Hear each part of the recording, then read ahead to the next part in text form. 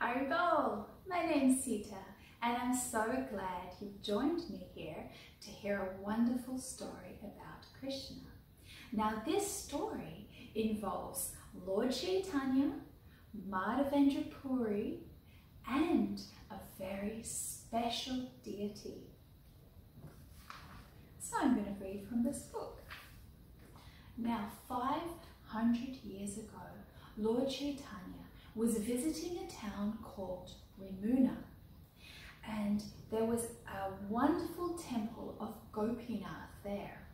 Now, the deity of Gopinath was called, called Ksirachora Gopinath, and Lord Chaitanya told his disciples the story, the true story, of how this deity became so famous. So this is the story that I'm going to read you. Lord Chaitanya tells his disciples, and I'm sharing it with you. So a long time ago, Madhavendra Puri was traveling around India. He liked to travel from one place to another, and as he walked, his mind was always thinking of Lord Krishna and how he could serve the Lord. When evening came and Madhavendra Puri was tired, he would rest under a large tree. He never begged for food, but would only eat if someone came and offered food to him. This is how the sannyasis eat and live. So living in this simple way, Madhavendra Puri was satisfied because he was always chanting the holy names of Krishna.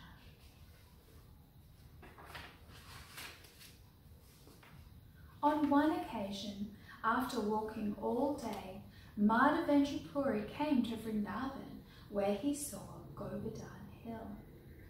He was almost mad with love for Krishna, and he did not know if it was day or night. Sometimes he stood up, and sometimes he fell onto the ground. After circumambulating the hill, Madhavendra Puri took his bath and sat under a tree to take his evening rest. While he was sitting beneath the tree, an unknown cowherd boy came there with a pot of milk and placed it on the ground before Madhavendra Puri. Smiling, he said, Please drink the milk I have brought. Why don't you beg some food to eat? What kind of meditation are you doing? When he saw the beauty of the boy, Madhavendra Puri was amazed. He felt very satisfied, and hearing the boy's sweet words, he forgot all hunger and thirst. Madhavendra Puri joyfully asked, Who are you? How do you, where do you live? And how did you know that I was fasting? The boy replied, Sir, I am a cowherd boy, and I live in this village. In my village, no one fasts. Anyone can beg for food from others, and so they can eat. The woman who came here to get water saw you and gave me this milk to bring you. I must go very soon to milk the cows, but I shall return to get the milk pot from you. Saying this, the boy left. Madhavendra Puri's heart was filled with wonder. He drank the milk, washed the pot and put it aside. He waited and kept looking down the path, hoping the boy would return. But the boy never came back. Madhavendra Puri could not sleep that night. He sat and chanted the Hare Krishna mantra, and at the end of the night, he dozed a little. Here's a picture of Madhavendra Puri being given the pot of milk by the boy. During his sleep, a wonderful dream came to him. In the dream, Madhavendra Puri saw the same boy. The boy held out his small hand and quietly took Madhavendra Puri into a bush in the jungle. I live in this bush, he said, and because of this, I suffer very much from the severe heat and the winds and cold rains. Please bring the people of the village and have them take me out of this bush. Then have them put me nicely on top of the hill. Please build a temple on top of that hill and wash me with cold water so that my body will be cleaned. I have been watching for you, you for a long time and wondering, when will Madhavendra Puri come here to serve me? My name is Gopala. I am the lifter of Govardhan Hill. I have been here for such a long time. When the Mohammedans attacked the priest who was serving me, he hid me in this bush in the jungle. Then he ran away because he was afraid. Since the priest fled, I have been staying in this bush. Now please remove me carefully. After saying this, the boy disappeared. Here's a picture of the boy leading Madhavendra Puri by the hand into the bush in the jungle.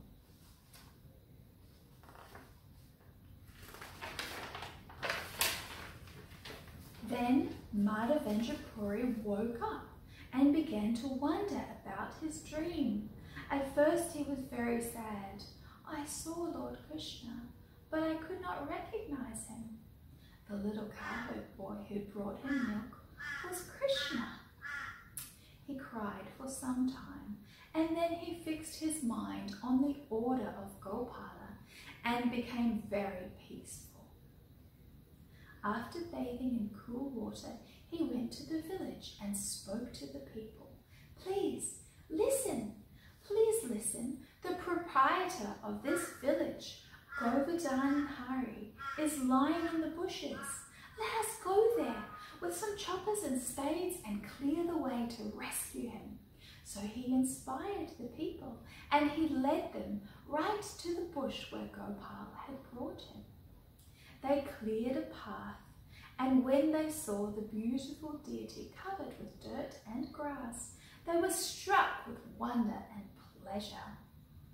After they cleaned the grass and dirt off the body of the deity, some of the people said, Oh, this deity is so very heavy. No one person can move him. Here they are, clearing the jungle to get to Gopala. So the stronger men joined together and carried him to the top of the hill where a big stone was made into a throne. Another big stone was placed behind the deity for support. Here's a beautiful little picture of Gopala, all covered with creepers and vines. He might be covered with creepers and vines and dirty, but he still looks very beautiful.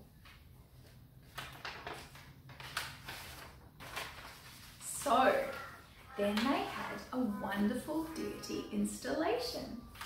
So when the deity was installed, 900 water pots were brought from Govinda Kund. There was music, singing, dancing, and all the milk, yogurt, and ghee in the village was brought to the festival. Large bundles of tulsi leaves, flowers, food, garments, and sweets were also brought for the enjoyment of the Lord. As soon as the people of the village had understood that the deity was going to be installed, they brought such large quantities of food that the whole surface of the hill was covered. Look here. Here's a beautiful drawing of the all of the different wonderful food offerings for Gopinath. They brought their stocks of rice, dal and flour. The potters brought all kinds of cooking pots and in the morning the cooking began. Oh, it's wonderful cooking for Krishna, isn't it? Do you make nice offerings for Krishna on the appearance days?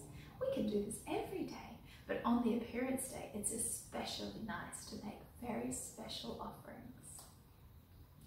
Ten brahmanas cooked food made of grains. Five brahmanas cooked different vegetables. And five to seven men made huge piles of chapatis and covered them with ghee. We all have different talents, don't we? Some of us have special dishes that we're particularly good at making. And so those Brahmanas wanted to offer their special dishes to the Lord, and that's what they did. Pots of vegetables, yogurt, sweets, and scented water was placed all around them.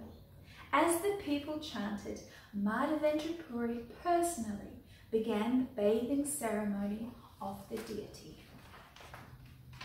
First, the deity was massaged with oil and then bathed in yogurt, in ghee, cow urine, cow dung, and finally clean scented water. After the bathing ceremony, Madhavendra Puri took all of the food that had been prepared by the cooks and offered it to the Lord, who was nicely dressed in new garments, sandalwood pulp, and flower garlands. Because of his spiritual eyes, Madhavendra Puri could see how the deity could eat all of the food and yet the food remained as it was before. After the food, Madhavendra Puri offered water for washing his mouth and betel nuts to chew. And then while Artik was performed, everyone called, Jaya, Jaya, all glories to Gopala. A temporary temple and bed were arranged, and the Lord lay down to rest. Finally, everyone offered nice prayers and obeisances. The amazing news of Gopala's appearance quickly spread. Whenever people heard the news, they became overjoyed and left their homes to travel to Vrindavan to see the deity. Here's a beautiful picture of all the different preparations that were used to clean the body of the deity in his installation ceremony.